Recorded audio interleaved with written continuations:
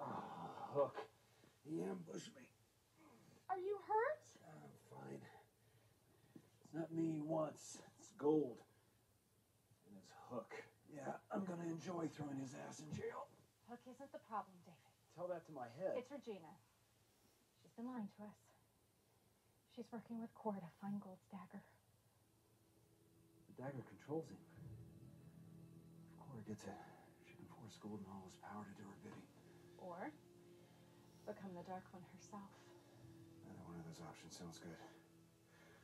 Lucky for us, we can call the man himself. He's with Emma. Tried it. Sent a message.